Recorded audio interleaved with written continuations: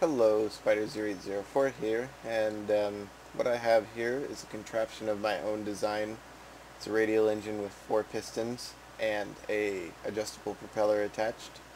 Now old radial engines would usually have a um, wooden propeller attached that could not change its pitch, but these days propellers do, and they're gear driven, but gears in Gmod suck, so I'm using hydraulics and uh, my little rotary engine is on a wheel platform. And this wheel platform will bend when I turn the engine on. That's because the engine of course turning has the effect of wanting the whole platform to turn. But uh, aside from that I got all my controls here blah blah blah blah blah. 8 increases throttle 2 decreases 5 is on. Um, 7 increases the pitch of the blades right here. You can see the, the pitch changing and one decreases. The maximum pitch is about 45 degrees because if you go higher than 45 degrees you'll be getting negative effects. Uh, works just like a propeller.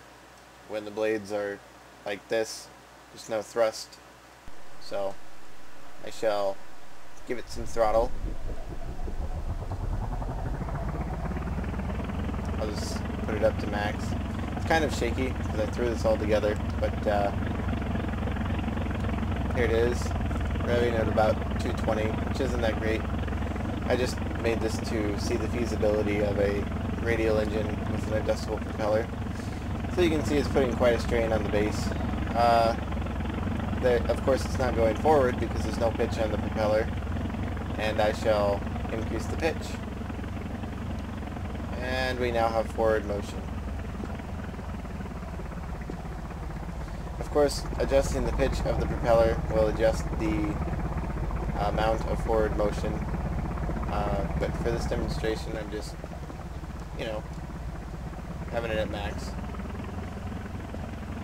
Uh, I've gotten a couple messages about if I've ever used adjustable propellers. The answer would be no, so now I have and I can say that they're feasible, but rotary engines on airplanes, just from this little bit here, kind of seems like a bad idea unless you have two counter-rotating engines. That way they would equal each other out.